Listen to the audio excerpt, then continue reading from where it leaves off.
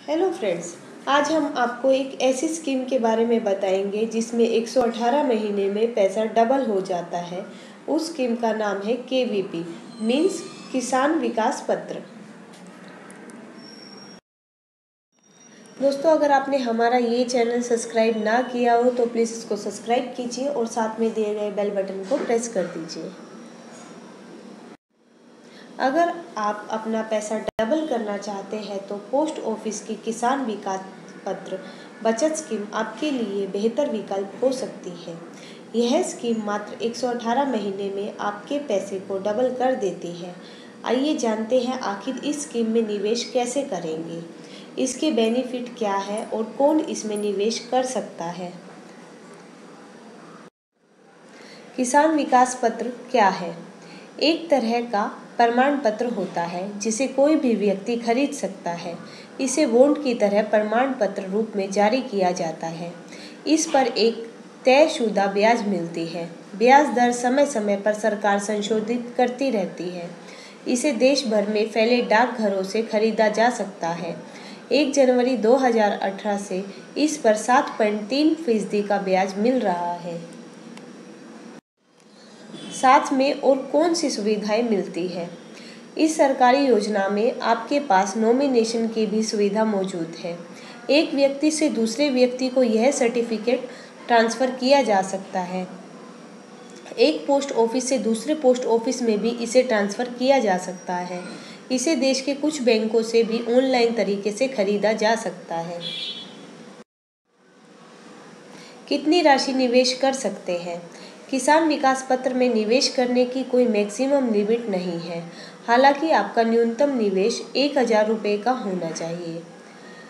आप एक हज़ार रुपये के मल्टीपल में कितनी भी राशि निवेश कर सकते हैं।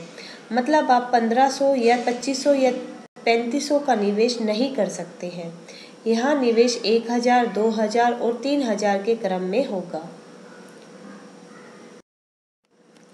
कौन खरीद सकता है इसे? जैसा कि ऊपर बताया गया है कि देश में फैले डाकघर की किसी भी ब्रांच से आप किसान विकास पत्र खरीद सकते हैं। आप किसी बच्चे यानी माइनर के लिए भी इसे खरीद सकते हैं। दो लोगों के नाम पर भी इसे खरीदा जा सकता है।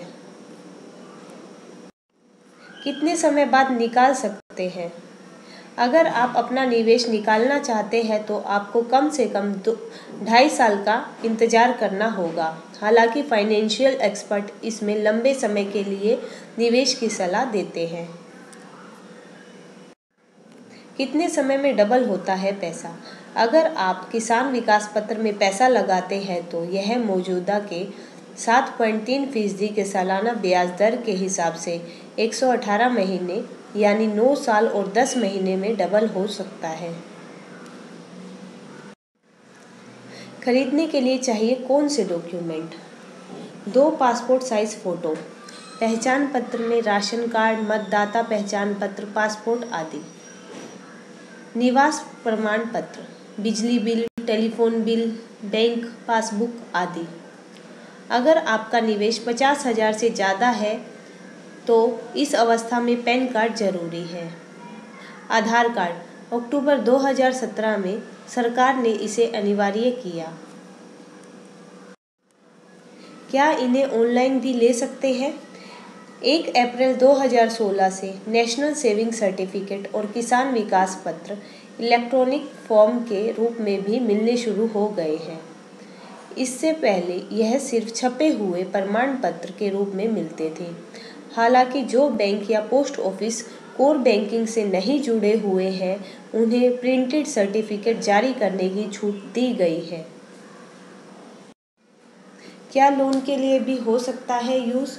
लोन अप्लाई करते समय किसान विकास पत्र का इस्तेमाल कोलेट्रल के रूप में यूज़ किया जा सकता है। लोन जारी करने से पहले देश के ज़्यादातर बैंक और फाइनेंशियल इंस्टीट्यूशन यह सर्टिफिकेट कोलेट्रल के रूप में स्वीकार करते हैं। टैक्स बेनिफिट भी मिलता है क्या? बैंक बाज़ार डॉट कॉम की वेबसाइट के मुताबिक किसान विकास पत्र पर आपको टैक्स बेनिफिट भी मिलता है। इस स्कीम में सोर्स पर टैक्स नहीं कटता है। मतलब आपको मैच्योरिटी का पैसा टीडीएस काट के नहीं दिया जाता है। साथ ही यह स्कीम वेल्थ टैक्स के दायरे में भी नहीं आती है। हालाँकि आप अस्सी सी के तहत इसमें छूट नहीं हासिल कर सकते। दोस्तों, अगर आपको इससे रिलेटेड हमसे कुछ और जानना है तो आप कमेंट बॉक्स में क्वेश्चन डालकर पूछ सकते हैं। Thanks for watching